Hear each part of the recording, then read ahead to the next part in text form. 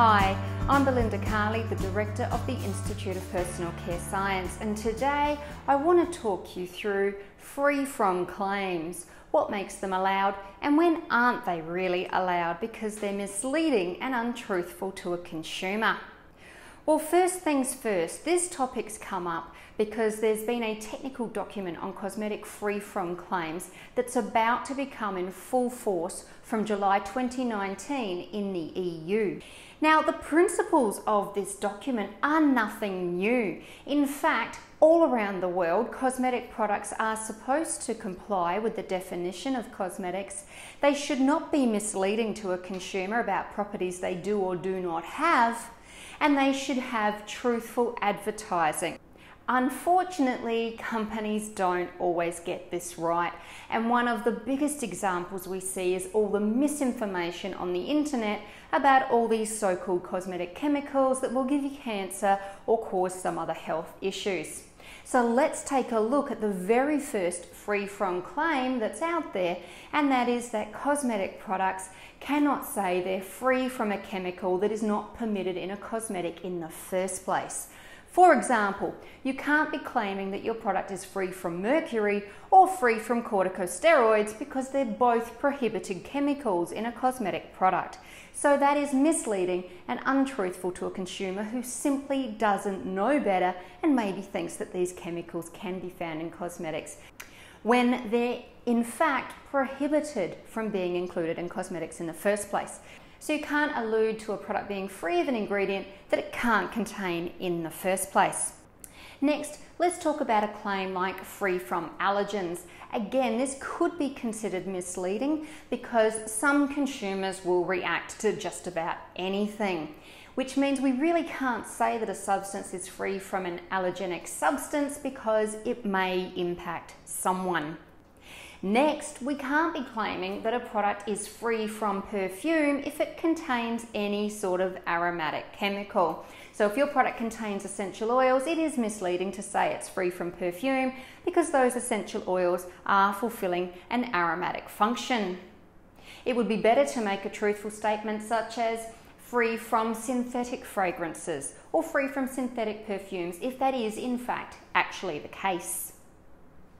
Next, let's take a look at the big one. This is parabens and preservatives. First of all, you can't be saying that your product is free from formaldehyde if you're using a preservative that is a formaldehyde releaser. You also can't be suggesting that that formaldehyde releaser is in any way harmful if it's used within regulatory limits, which, if a cosmetic product is compliant, it would be, so we can't be implying any harm from the use of that preservative. But we can't be saying that it's free from formaldehyde in this case if it is using a formaldehyde releasing preservative. We also cannot be saying free from parabens because there's so much misinformation on the internet, which means consumers put one and one together and think that parabens are therefore harmful for them. Now, there's been extensive studies and a lot of regulations around the use of certain parabens, and they are permitted within strict regulatory limits in cosmetic products. Therefore, cosmetic products can no longer carry the claim free from parabens because it's implying to the average consumer that parabens are in fact harmful after all. So we can't be implying harm from a permitted ingredient in cosmetics at any time.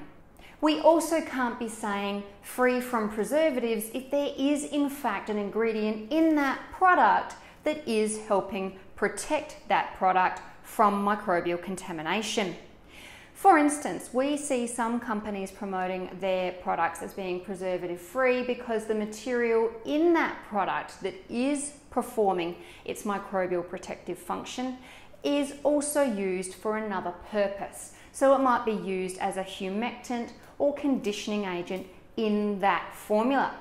But with these guidelines firmly in place, it makes it clear that if that ingredient or ingredients were removed from the formula, if that product would then start to grow microbial contamination, then that ingredient is clearly being used as a preservative. So you can't say it's preservative free. If you want to be making a preservative free claim, you'll need to support it with evidence like PET or challenge testing, which proves that even without that ingredient, the formula is still not going to grow microorganisms and then you can say it's preservative free. But if the presence of that ingredient or ingredients is protecting the formula from any sort of microbial contamination, it is misleading and untruthful to suggest that the product is preservative free when there very clearly is at least one ingredient that's providing microbial protection. In other words, it does contain an ingredient that is providing a preservative function, and it's misleading and untruthful to suggest it doesn't. So, when can you make a free from claim? When is it okay to say that a product is free from certain ingredients? Well, you can when it is a truthful claim that doesn't imply harm from an otherwise permitted cosmetic ingredient. We use the parabens example to make it really clear that it's not okay to say free from parabens because that would be suggesting there's potential harm from using a permitted cosmetic ingredient. But if you had a vegan looking for a cosmetic, for example, it's perfectly acceptable to say that your product is free from animal products if it is in fact true, so that they can make an informed purchasing decision. It's also okay where products differentiate based on what they do or do not contain, where fear mongering and safety is not part of the message. For example, traditional mouthwash formulas used to contain a bit of ethanol.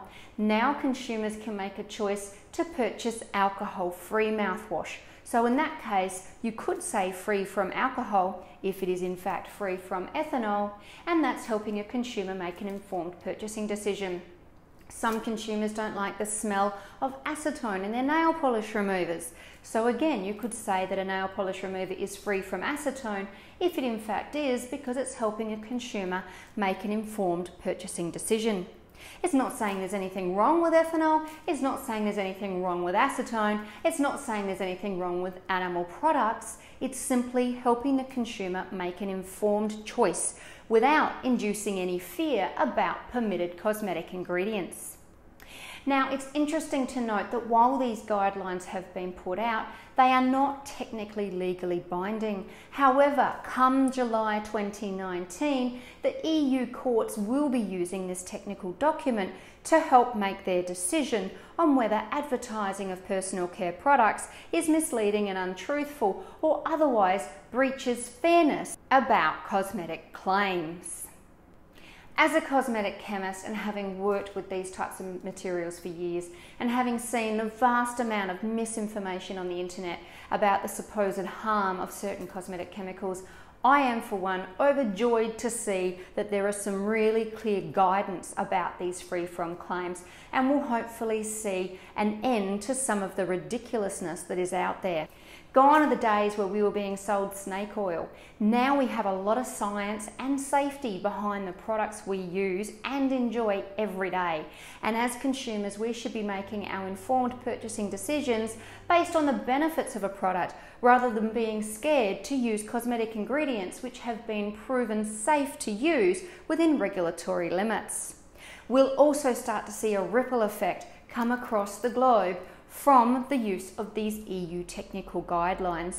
They provide courts with really clear guidance on what is considered acceptable and is considered misleading, untruthful, and unfair to help regulators around the world judge cosmetic advertising in a more appropriate manner and especially help consumers purchase what they're looking for without any sort of fear or repercussion about potential harm from using perfectly safe cosmetic chemicals. I'm sure this video is going to spark debate, so you can contact us and get a copy of these technical guidelines. It's not about me telling you the rules, this is from the EU regulators and a technical document that their courts will be using to judge fairness of advertising of cosmetic products. And about time too.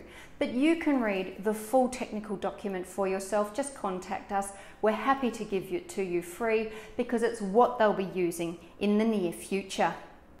So now let's get back to the good stuff, and that is creating amazing personal care products that really deliver on their promises without inducing fear. If you like this video, please give it a thumbs up. Don't shoot the messenger, I'm simply passing the message on. I didn't make the rules, but it's about time we had a fair and level playing field in this industry where so many great things can be created.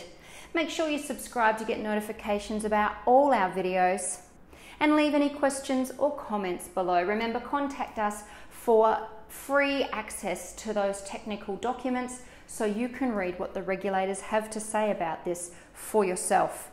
Happy formulating!